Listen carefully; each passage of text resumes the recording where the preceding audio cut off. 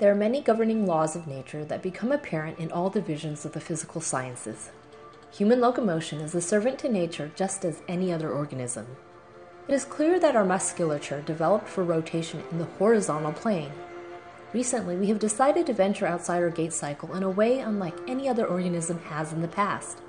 This is due to our highly developed brain allowing us to create and execute movements outside of our actual, biologically evolved myofascial sling systems. Our brain can also allow us to realize that we were wrong in venturing outside of our locomotive limits.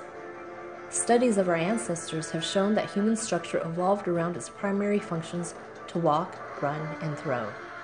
If we want to be pain free throughout our lifespan, we must abide by and honor these evolutionary traits as a human. From the beginning of its development, the brain was used to analyze the environment and plan movement accordingly. It only makes sense we respect this purpose.